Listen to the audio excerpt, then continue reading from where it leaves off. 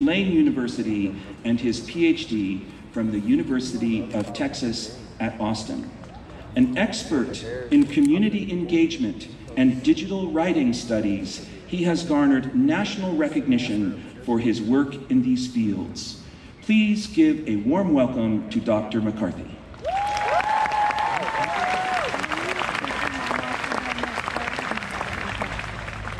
Thank you, Dean Aguirre. Graduating class of 2019.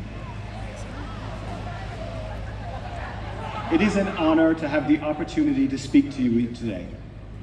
Let me begin with what I'm sure you've heard again and again and again and again, that you have the world ahead of you. Everybody sitting with you today is so happy for you. And we're also a little bit jealous because beginnings are always exciting.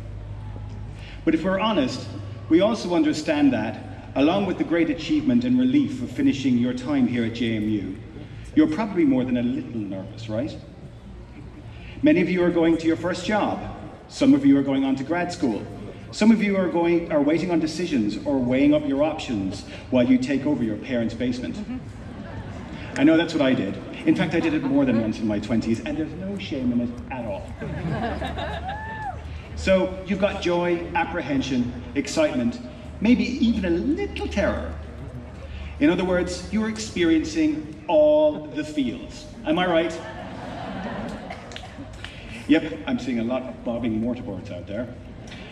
And at such a public event, wearing such brightly purple clothes. There's no pressure at all, right? What I want to do for the next few minutes is to tap into that vulnerability that you're feeling right now. I've had a few more careers than I can count, and I've moved around a lot, so you could say that I'm kind of an expert in it. I'm a rhetorician by training, but I'm also interested in how, so I'm interested in how we communicate and what we communicate. And I'm especially invested in the idea of vulnerability because it, it isn't something that we like to reveal normally to others. After all, the traditional definition is to leave ourselves open to attack, either physically or emotionally. But what I want to chat about today is how vulnerability can and must be at the very essence of how we live, love, work, and play. And on this day of all days, I want to explore vulner how vulnerability connects you to your authentic self, to your future, to this country, and indeed to the entire planet. As you can see, I like tidy thesis statements. You can likely tell from my accent that I'm not from Harrisonburg. I'm from Roanoke, actually. But, yeah, that's not, I just. I'm from the west of Ireland, as Dean Aguirre said. I earned my BA from what was then the uh, University College Galway, way back in 1993. Like your parents that sit behind you, mine were beaming with pride on graduation day. They had not been to college and I was the eldest child, so it was a big deal for all of us. Upon graduation, I traveled a lot, trying out jobs of various shapes and sizes before moving to the US to do my graduate work. Travelling after college felt natural to me because immigration is such a huge part of Irish identity. As a kid, I remember everyone returning home for the Christmas holidays from Chicago, Boston, New York, London, Birmingham, and Brisbane. For a, for a, few short weeks, the village was flooded with cash and mirth, soon to be followed by that familiar hollow emptiness when everyone had to leave for another year. For those of us who grew up during decades when immigration was rampant, Ireland and America were inseparable. We feel a deep sense of connectedness to this country and the opportunities it has afforded us. But that gratitude is intertwined with a quiet sadness when you're so far away from those who we love. I get that double feeling every time I talk to my mom on Skype. She lives in a small village where I grew up, which is called Liscannor. And here's a fun fact that some of you might have heard before. Have we all seen The Princess Bride? Of course you've all seen The Princess Bride. Um, uh, do you remember the scene where they climb the Cliffs of Insanity? Well, the Cliffs of Insanity is actually a place called the Cliffs of Moher, which is where I'm from. So every year I begin my classes with, um, hello, my name is Sean, I'm your instructor, and I am from the Cliffs of Insanity. Sometimes my students remind me this of my yearly evaluations. Uh, thank you for putting up with me. You know, Ireland is a very small place, smaller than the state of Virginia, and with fewer people than uh, DC and Nova combined. It seems to have an outsized personality for a place that small, though. One could argue that it's the Guinness or the music. I hope it's not just Riverdance. Um, but I have a pet theory that we're a particularly loud culture because we've had a long time learning how to be vulnerable. We've been emigrating for centuries, often under the direst of circumstances. So when we gathered abroad, the Irish, along with many other migrant populations, we leaned into each other, forming support networks and vibrant cultures. You see, the thing about vulnerability is that, yes, it can expose you to harm, but it's also the condition that exposes you to human connection, to love, and to community. You can't love someone without being vulnerable. You can't lead people without being vulnerable. You can't create or innovate with tapping into the side of you that admits loudly and proudly, um, yeah, I don't really know what I'm doing right now. And this is what interests me about vulnerability as a rhetorician the strength that comes from exposing what you don't know rather than bulletproof arguments about what you do. Professor Brene Brown of the University of Houston has done extensive research on vulnerability, and she argues that to be vulnerable to each other is the most important step in building meaningful relationships. During a now famous TED talk she delivered a few years back, she suggested that vulnerability is not winning or losing, it's having the courage to show up and be seen when we have no control over the outcome. Vulnerability is not weakness, it is our greatest measure of strength. So, my wish for you today is that you use my brief remarks as a chance to reorient yourselves towards vulnerability, to actually regard it as strength. Tapping into it is going to help your life, your loves, and your career. It's also going to be the single most important way you navigate your role as a citizen. I want to be clear that what I'm about to talk about next is done as someone who is in the process of gaining citizenship here in this country, and is done from the perspective of my expertise as a rhetorician and not from a party political perspective. The truth is that you are inheriting a world that is currently in turmoil, with precarious economies and an ever widening gap between rich and poor. Far right wing populist regimes and movements are capitalizing on this instability to shore up wealth, and in the process are inflicting serious damage on democratic institutions and individual rights. And this pernicious ideology is spreading like wildfire because it is exploiting our most important asset, our vulnerability. It recognizes that we are our greatest strength so instead, it tricks us into being afraid of each other, afraid of losing what we have, afraid of change. The more we fear and distrust each other, the more we divide ourselves into groups that say, I'm right and you're wrong, and I have rights and you have none. Of course, the fundamental way to accomplish this is to destroy the empathetic, vulnerable connection between us so right wing populist movements tend to divert us towards something else, often an idealized past. As you know, Brexit, to use the technical, technical term, is a hot mess right now. In fact, it has the potential to redivide my own country in Ireland in damaging and even violent ways. The practical, the practical benefits of Brexit are notoriously vague, but the guiding narrative is crystal clear to return to a glorious state of isolation. And the narrative here to make America great again. The problems with narratives such as these is that they force us to look away from each other and into some sort of abstract space. It makes debate impossible because we don't know what we're debating about. As a result, we end up shouting across each other and being diverted by alternative facts. So here's how we change that script.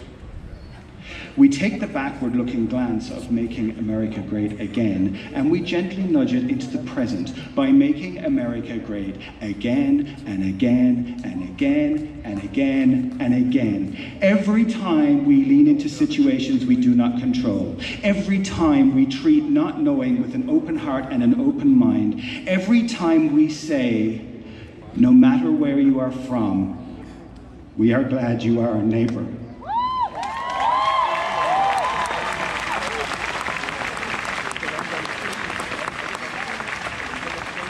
It is in these small moments that greatness lies. These moments will give us the strength to forge a new politics, to learn to treat ourselves and the environment with care and with respect, and to build a vibrant culture that is inclusive and daring and innovative. As I said earlier, this is not a partisan argument.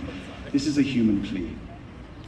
Disagreement is the engine of politics and, frankly, of progress. But only if we're able to see each other, hear each other, and to acknowledge the discomfort that not knowing the answer brings. It's within everybody's grasp, and it's the source of our greatest joy and our deepest responsibility. I'm telling you this, graduating class of 2019, because the generations that precede you have often been entrenched in worldviews and problem solving strategies that are in this present moment exhausted and broken. You may not feel it right now, but if you move forward from this day, gathering together your education, an open heart, and a beginner's mindset, you will change the world.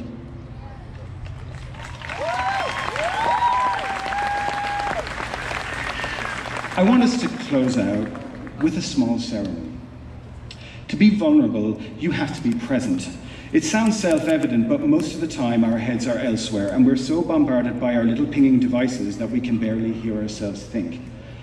But there's a solution to finding presence, and it's in everyone's grasp. Simply breathe.